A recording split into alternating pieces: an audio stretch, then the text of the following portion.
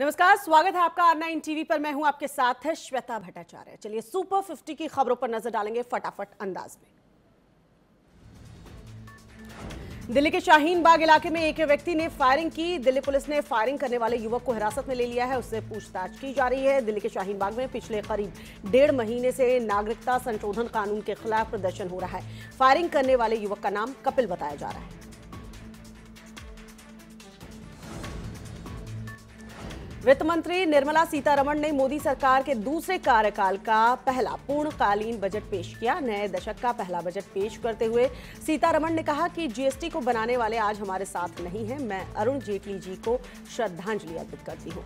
देश के लोगों की सेवा के लिए हमारी सरकार ने एक देश, एक टैक्स कानून लागू करने का फैसला लिया। जीएसटी का कलेक्शन लगातार बढ़ रहा है और हाल ही में इसने एक लाख करोड़ रुपए का आंकड़ा पार कर लिया है।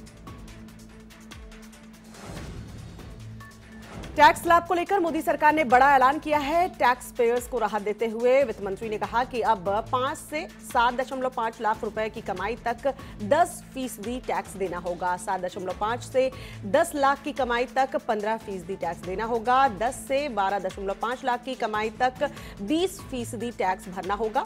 बारह दशमलव पाँच से पंद्रह लाख की कमाई तक पच्चीस फ़ीसदी टैक्स देना होगा।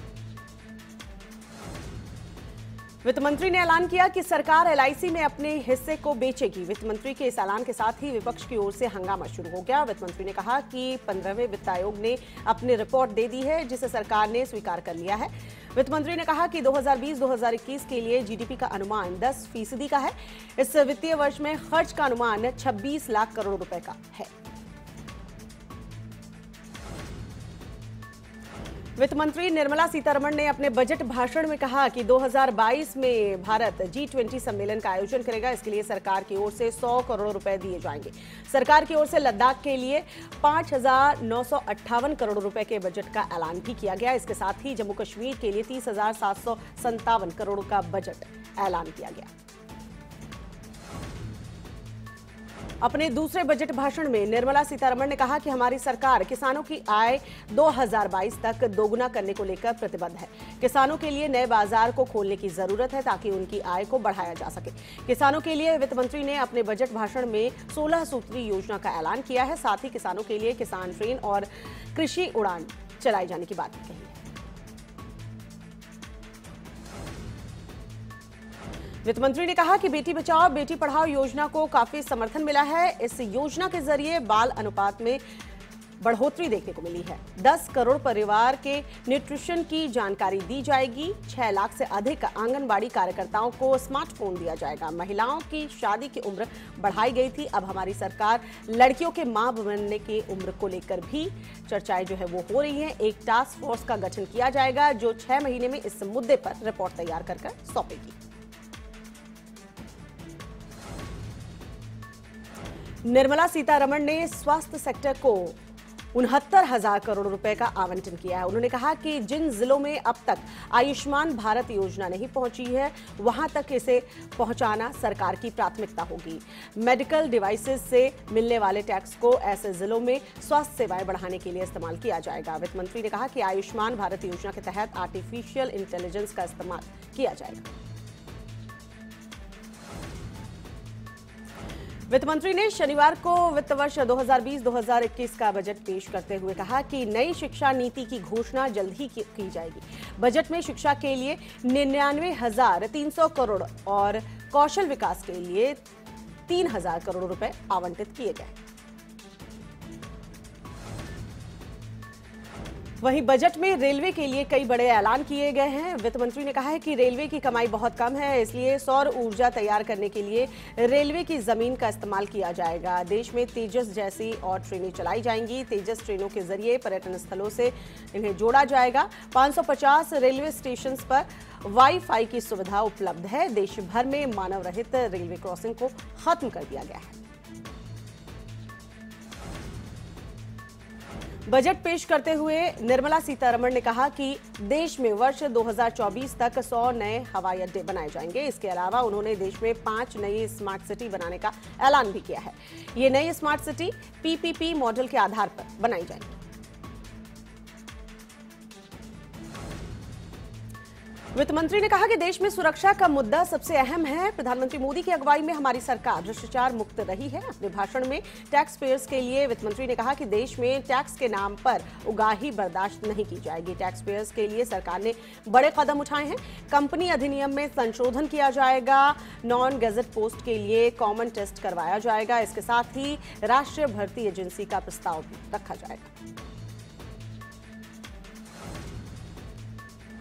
संसद में आज केंद्रीय वित्त मंत्री निर्मला सीतारमण द्वारा आम बजट 2020 पेश किया गया। उन्होंने इतिहास में अब तक का सबसे लंबा बजट भाषण दिया, जो कि दो घंटे 40 मिनट का रहा। इस दौरान उन्होंने कई बड़े ऐलान भी किए। बजट घोषणा के बाद कांग्रेस नेता राहुल गांधी ने प्रतिक्रिया देते हुए कहा कि युवाओं के रोज़गार के लिए बजट में कुछ भी नहीं।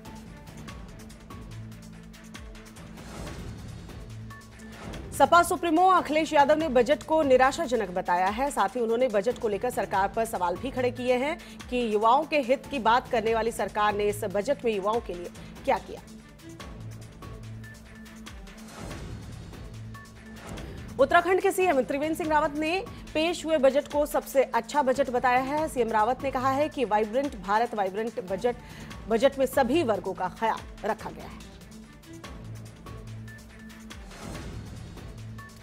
सीए के खिलाफ प्रदर्शन कर रहे शाहीन बाग के लोगों से बात करने के लिए मोदी सरकार तैयार है। केंद्रीय कानून मंत्री रविशंकर प्रसाद ने अपने एक ट्वीट में इस बात के संकेत दिए हैं। रविशंकर प्रसाद का कहना है कि सरकार लोगों से बात करने के लिए तैयार है, लेकिन एक व्यवस्थित तरीके से। दिल्ली के शाहीन बाग में पिछले करीब 50 दिन से नागरिकता संशोधन कानून के खिलाफ प्रदर्शन चल रहा है, जो दिल्ली के चुनाव में बड़ा मुद्दा बन चुका है। दिल्ली के करावल नगर में उत्तर प्रदेश के मुख्यमंत्री योगी आदित्यनाथ ने रैली को संबोधित किया। अपने संबोधन में योगी आदित्यनाथ ने मोदी सरकार के कामों को गिनाते हुए देश को सबसे ऊपर बताया। उन्होंने कहा कि प्रधानमंत्री मोदी ने आतंकवाद पर जमकर प्रहार किया है। उन्होंने धारा 370 को लेकर कहा कि देश में अब एक विधान लागू हुआ है। दिल्ली के सियासी दंगल में बीजेपी के स्टार प्रचारक, सीएम योगी उतर आए। दिल्ली में उन्होंने तीन रैलियाँ की। इस दौरान उन्होंने कांग्रेस केजरीवाल पर जमकर हमला बोला। सीएम योगी ने शाहीन बाग में हो रहे प्रदर्शन को लेकर भी जमकर निशाना साधा।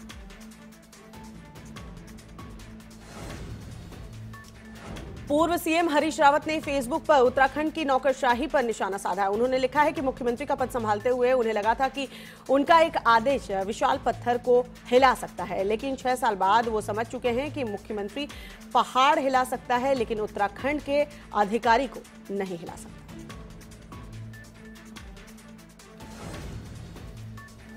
जनसंख्या नियंत्रण कानून की मांग को लेकर जनसंख्या समाधान फाउंडेशन ने जनसंख्या कानून सम्मेलन का आयोजन किया है। सम्मेलन के मुख्य अतिथि राष्ट्रीय स्वयंसेवक संघ के राष्ट्रीय कार्यकारिणी सदस्य इंद्रेश कुमार रहे।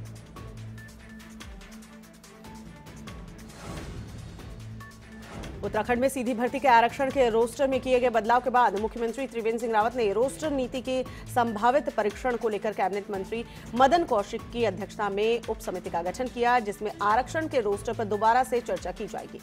राज्य मंत्री रेखा आर्य का कहना है कि चर्चा से ही आरक्षण के रोस्टर का विवाद सुलझेगा और इस मामले का समाधान निकल सकेगा। यूपी में किसानों के लिए राहत भरी खबर है। प्रदेश में आज से किसान आसान किश्त योजना लागू हो गई है। इस योजना के तहत किसान किश्तों में ट्यूबवेल के बकाया बिल का भुगतान कर पाएँगे। किसान छह किश्तों में इसे जमा कर पाएँगे। 31 जनवरी 2020 तक का ब्याज माफ़ कर दिया है। न्यायालयों में विचाराधीन मामले वाले किसान भी इस योजना के तहत लाभ जो है वो उठा पाएँगे। प्राइवेट स्कूलों की बेतहाशा फ़ीस बढ़ोतरी को लेकर गाजियाबाद पेरेंट्स एसोसिएशन और अभिभावकों ने जिला अधिकारी कार्यालय के पास सांकेतिक धरना दिया। इस दौरान शासन, प्रशासन और शिक्षा अधिकारियों की उदासीनता से नाराज़ अभिभावकों ने सिटी मजिस्ट्रेट शिव प्रसाद शुक्ल को ज्ञापन देकर अपनी मांग रखी। बाराबंकी में दिल दहला देने वाली वारदात सामने आई है। जल्लाद पति अपनी पत्नी का सिर काटकर वो अपनी पत्नी का सिर लेकर थाने पहुँच गया। खौफनाक मंजर देखकर गाँव में सनसनी फैल गई। गंगा यात्रा का समापन कर वापस लखनऊ जाते वक्त पर्यटन मंत्री नीलकंठ तिवारी, लखनऊ कानपुर हाईवे स्थित चंद्रशेखर आज़ाद, पक्षी विहार औचक निरीक्षण करने के लिए पहुँचे। मंत्री के पहुँचने से अधिकारी और कर्मचारियों में अफरा तफरी का माहौल बन गया। पर्यटन मंत्री ने पक्षी विहार झील का सघन निरीक्षण करने के साथ ही हिरण के रहन सहन के बारे में कर्मचारियों से बात कर बेहतर इंतज़ाम के निर्देश दिए। बैंकों के हड़ताल का आज दूसरा दिन है। ऐसे में कल मेरठ, कैंट स्थित इलाहाबाद बैंक के सामने ज़िले के 300 बैंक शाखाओं के कर्मचारी इकट्ठा होकर सरकार के खिलाफ प्रदर्शन किया है। प्रदर्शन में उन्होंने पेंशन, अपडेशन समेत कई मुद्दों पर अपनी मांग ज़ाहिर की। कानपुर में पकड़े गए पीएफआई सदस्यों के इंडियन मुजाहिदीन के आतंकी जलीस अंसारी उर्फ़ डॉक्टर बम से कनेक्शन की छानबीन की जा रही है। पकड़े गए सदस्यों से एटीएस और आईबी के अफसरों की पूछताछ जारी है। यूपी के लखीमपुर खीरी में स्टेट बैंक में करोड़ों का घोटाला सामने आया है। प्रारंभिक जाँच में पता चला है कि बैंक मैनेजर और फ़ील्ड ऑफिसर ने आपसी मिलीभगत से बैंक में करोड़ों रुपए का गबन किया है। फ़िलहाल इस मामले में आरोपी बैंक कर्मियों को मामला दर्ज कर उन्हें हिरासत में लिया गया है। इसके साथ ही दोनों बैंक कर्मियों को सस्पेंड भी किया गया है। मऊ ज़िले में सरकारी ज़मीन पर हुए अतिक्रमण को खाली कराने का सिलसिला जारी है। मऊ के वी मार्ट पेरस प्लाजा को पुलिस ने सील कर दिया है। सील करने की कार्रवाई के लिए खुद सिटी मजिस्ट्रेट जैन सचान कोतवाली पुलिस के साथ मौके पर पहुँचे। मुरादाबाद में खाद्य विभाग के अधिकारियों पर फल मंडी के आड़तियों से एक हज़ार रुपए सुविधा शुल्क लेने के आरोप लगे हैं। फल मंडी के लगभग सौ आड़तियों ने ये पैसा दिया है। खाद्य विभाग के अधिकारी वीरेश पाल पर ये पैसे लेने के आरोप लग रहे हैं।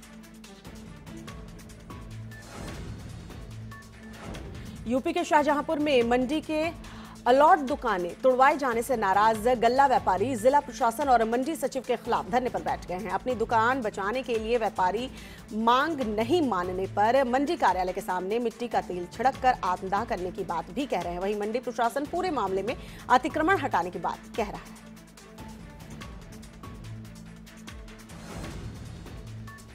टिहरी जनपद के टिपरी में साधन सहकारी समिति के ग्रामीण बचत केंद्र संचालकों पर ग्रामीणों ने लाखों रुपए के गबन करने का आरोप लगाया है। बैंक में खाता धारकों ने जिलाधिकारी टिहरी को इस मामले में जाँच करने की मांग की है। संभल के सरकारी स्कूल में पढ़ाई के समय छात्र छात्राओं से मजदूरों वाला काम करवाया जा रहा है। छात्र ईटों को धोते हुए नज़र आ रहे हैं, फावड़े से खुदाई कर रहे हैं, वहीं मासूम लड़कियों से सुढ़ी वाले चावल बनवाए जा रहे हैं। लड़कियाँ चावल ढो रही हैं। संभल के एक सरकारी स्कूल की ऐसी ही वीडियो जो है सोशल मीडिया पर खूब वायरल हो रही है। शामली के एक पटाखा फैक्ट्री में ब्लास्ट हो गया। हादसे में तीन महिला समेत पाँच लोगों की मौत की खबर मिल रही है। मृतकों में फैक्ट्री मालिक भी शामिल है। सूचना के बाद मौके पर पहुँचे प्रशासन ने राहत और बचाव का काम शुरू किया। फैक्ट्री में काम चल रहा था, उसी दौरान धमाका होने लगे। फैक्ट्री के अंदर काम कर रहे लोग जब तक कुछ समझ पाते, इससे पहले ही एक के बाद एक ब्लास्ट हुए। ब्लास्ट के कारणों का फ़िलहाल पता नहीं चल पाया है। रायबरेली के लालगंज पुलिस ने अवैध रूप से गोदाम में रखे पटाखों को पकड़ा है, जिसके बाद लोन नदी किनारे ले जाकर उसे विस्फोट किया गया। पटाखों की आवाज़ से इलाके में हड़कंप मच गया। पूरा मामला जाने के बाद ग्रामीणों ने राहत की सांस ली। यूपी के रामपुर ज़िले में सप्ताह भर पहले हुए डबल मर्डर के चारों आरोपियों को पुलिस ने गिरफ़्तार कर लिया है। पटवाई थाना क्षेत्र में प्रेम प्रसंग के चलते ही गाँव में दो दोस्तों की गला दबाकर हत्या कर दी गई थी और शव को कुएँ में डाल दिया गया था। घटनाक्रम में चार को नामजद किया गया था। पुलिस ने आरोपियों को गिरफ़्तार कर अदालत में पेश किया, जहाँ से उन्हें जेल भेज दिया गया। कन्नौज में युवती ने युवक पर शादी का झांसा देकर शारीरिक और मानसिक शोषण करने का आरोप लगाया है। युवती ने युवक का तिलक रुकवाने की शिकायत लेकर पुलिस थाने पहुँच गई और मामले की कार्रवाई करने की अपील की। पूरा मामला प्रेम प्रसंग का नज़र आ रहा है। जालौन में बीजेपी नेता का एक शर्मसार कर देने वाला मामला सामने आया है, जहाँ पर भाजपा सभापति ने एक नाबालिग लड़की के साथ जबरन दुष्कर्म किया। पीड़ित के पिता की तहरीर पर पुलिस ने आरोपी के खिलाफ मामला दर्ज कर उसकी तलाश शुरू कर दी। रायबरेली के भदोखर थाना क्षेत्र में लखनऊ इलाहाबाद हाईवे पर भीषण सड़क हादसा हो गया। दो ट्रक आमने सामने टकरा गए। टक्कर इतनी ज़बरदस्त थी कि दोनों ट्रकों के ड्राइवर ट्रक में ही फंस गए। पुलिस ने ग्रामीणों की मदद से दोनों ट्रक के ड्राइवर और कंडक्टर को बाहर निकाला, जिसमें एक ट्रक ड्राइवर की मौके पर ही मौत हो गई, जबकि दूसरे ड्राइवर और कंडक्टर को गंभीर हालत में अस्पताल में भर्ती करवाया गया। अलीगढ़ में कुएँ की मोटर ठीक करने के लिए कुएँ में अंदर उतरना किसान के ऊपर भारी पड़ गया और कुएँ की दीवार जो है उस पर ही गिर गई। किसान को निकालने के लिए 26 घंटे के रेस्क्यू ऑपरेशन चलाया गया। परिजनों का रो रो कर बुरा हाल है। कौशाम्बी में एक अज्ञात युवक की नहर में डूबने से मौत हो गई है। पुलिस ने शव को कब्जे में लेकर पोस्टमार्टम के लिए भेज दिया है। फ़िलहाल युवक की शिनाख्त नहीं हो पाई। फतेहपुर थाना क्षेत्र में पाँच की मौत से इलाके में हड़कंप मच गया है। माँ समेत चार बेटियों ने जहर खाकर जान देने का मामला सामने आया है। पति से घरेलू विवाद के बाद माँ ने अपनी चार बेटियों के साथ जहर खाकर जान दे दी है। पुलिस ने मौके पर पहुंचकर जाँच शुरू कर दी है।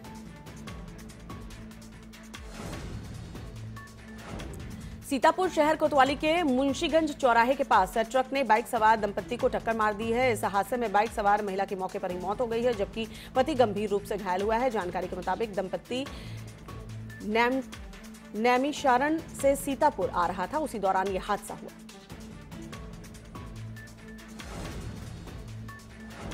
ग्रेटर नोएडा में हाईवे पर दो टूरिस्ट बसों में भिड़ंत हो गई है, जिसमें 12 से ज़्यादा लोग घायल बताए जा रहे हैं। ये बस आगरा से नोएडा जा रही थी।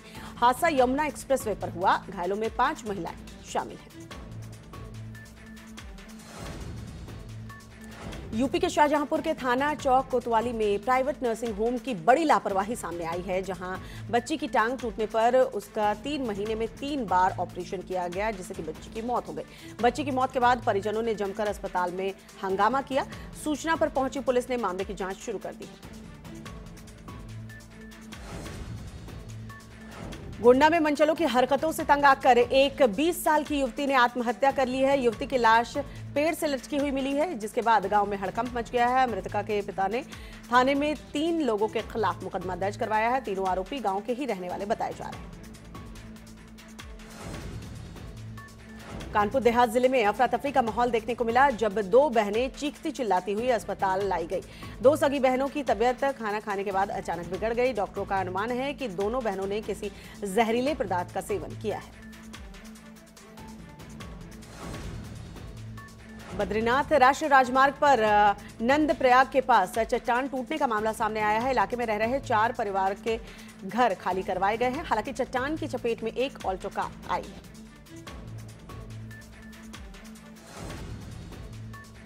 चमोली में बर्फबारी के चलते कई रास्ते बंद होने के कारण मरीजों को दिक्कतों का सामना करना पड़ रहा है। सड़कें बंद होने के चलते जहाँ एक तरफ़ भारी जाम की समस्या से लोगों को जूझना पड़ रहा है, वहीं यातायात भी ठप पड़ा हुआ है। अभी तक प्रशासन द्वारा इस पर कोई कदम नहीं उठाया गया है। चीन में कोरोना वायरस के चलते अलर्ट जारी होने के बाद राजधानी बीजिंग में एमबीबीएस की पढ़ाई कर रहा सहारनपुर के सरसावा थाना क्षेत्र का युवक घर वापस लौट आया है। चीन से वाया श्रीलंका होते हुए हिंदुस्तान आने पर उसकी तीन जगह मेडिकल जाँच हुई। छात्र के यहाँ लौटने पर आनंद फानंद में स्वास्थ्य विभाग की टीम सरसावा में छात्र के घर पहुँच गई।